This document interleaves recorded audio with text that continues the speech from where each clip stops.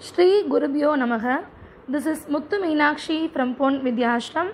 I welcome everyone to the next session on Class 8 Mathematics. This is Chapter 8 Comparing Quantities.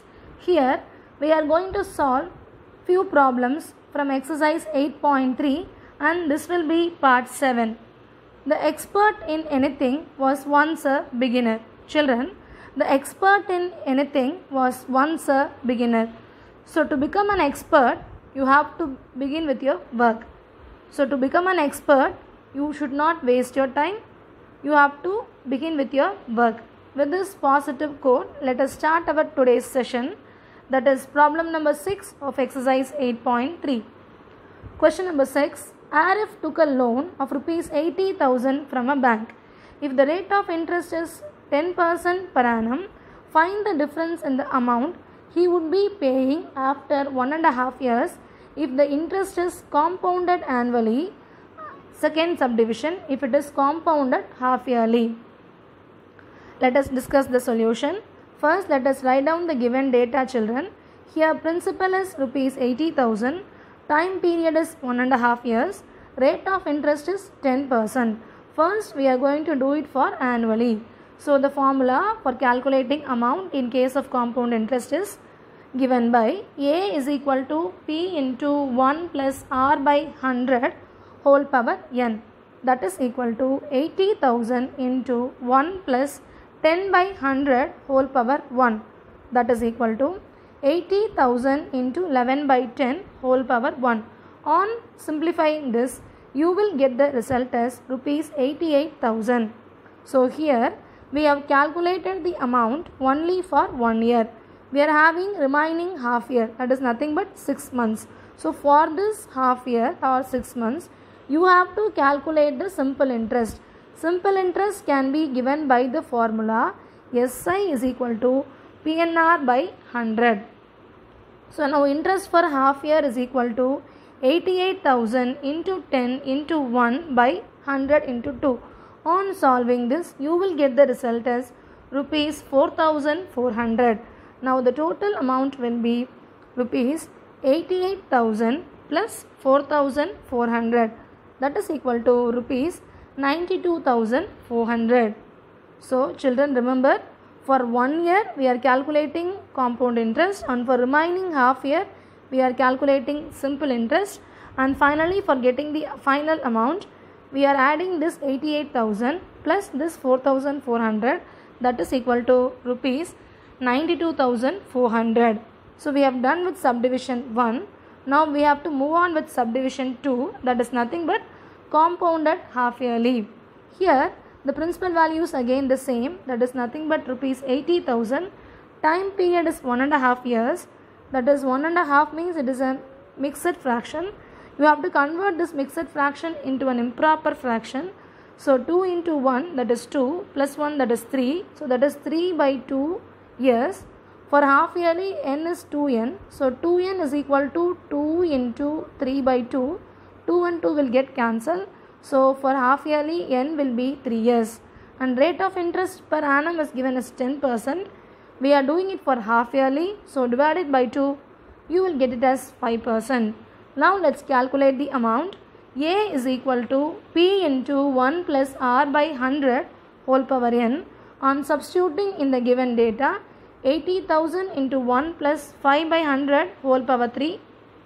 You can simplify this 5 and 100 that is nothing but 1 by 20.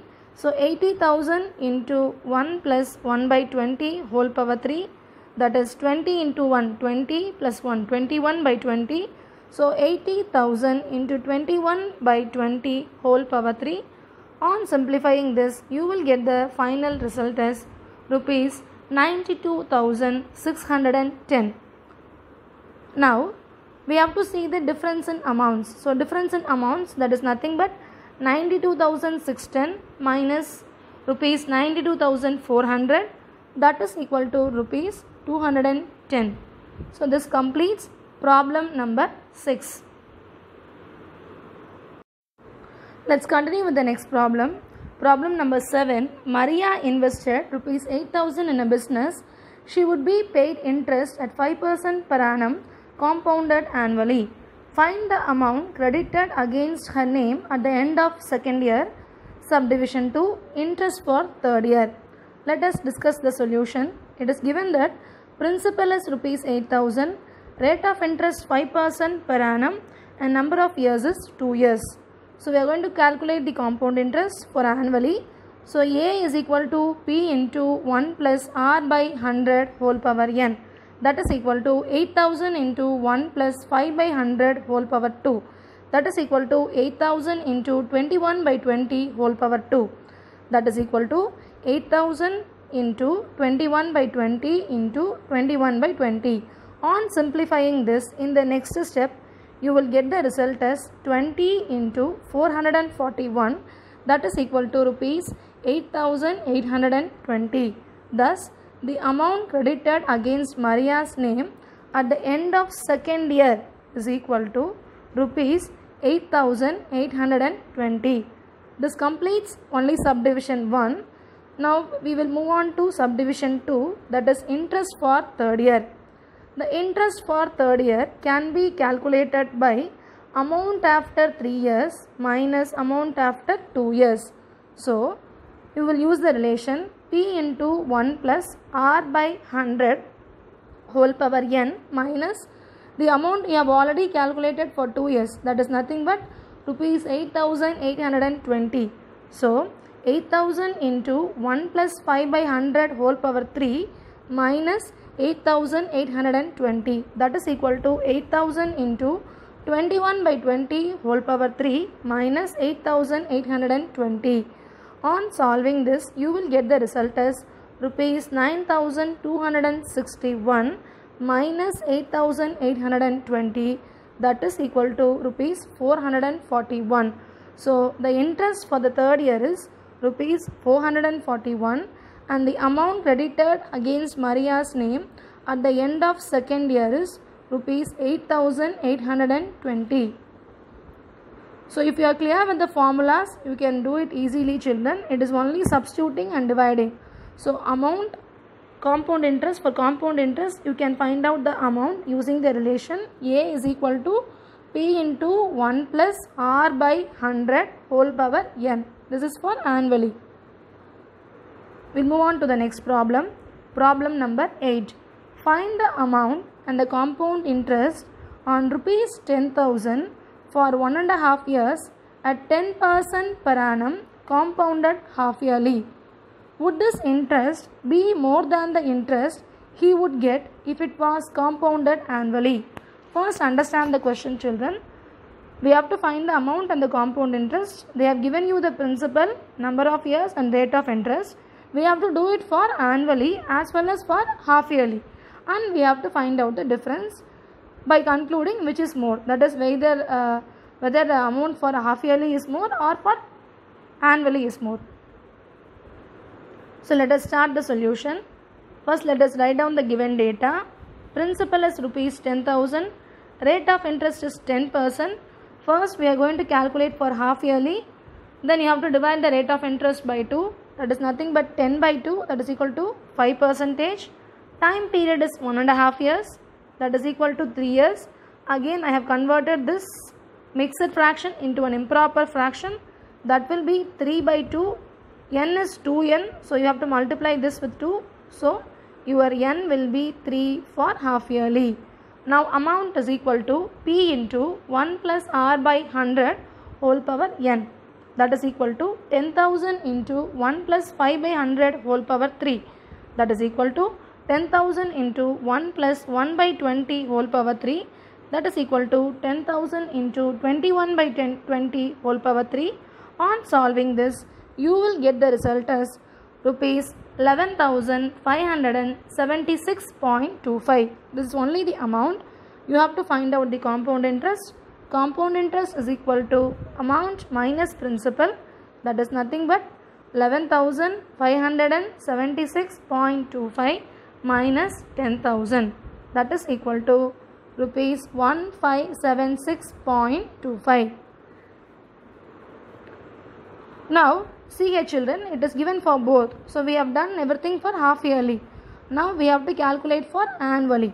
So if it is compounded annually, then the principal is same 10,000.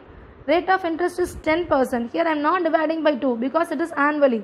Number of years is one and a half years. So if it is one and a half years means what we will do usually for the one year we will calculate compound interest. We'll first find out its amount. For remaining half year we will find out the simple interest.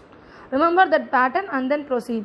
So amount for one year P that is equal to A is equal to P into 1 plus R by 100 whole power n. That is 10,000 into 1 plus 10 by 100 whole power 1. That is 10,000 into 1 plus 1 by 10 whole power 1.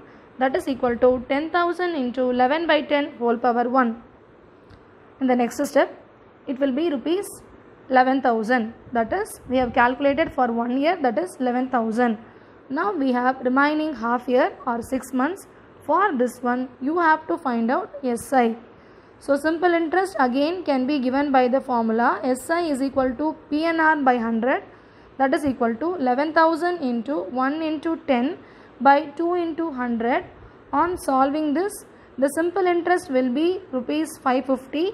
So total amount is this value 11,000 plus 550 that is equal to 11,550. Now compound interest is A minus B that is 11,550 minus 10,000 that is equal to rupees 1550. To conclude, rupees 1576.25 is more than rupees 1550 that is we have found out for half yearly. For half yearly it is 1576.2 here. So here the half yearly amount that is 1576.25 is more than 1550 so we have just discussed three problems in this session. Remaining there are four more problems. We'll complete this chapter in next session. So to conclude look at this children. Which step have you reached today? Step 1 i won't do it. Step 2 i can't do it. Step 3 i want to do it step 4 how do i do it? Step 5 i will try to do it.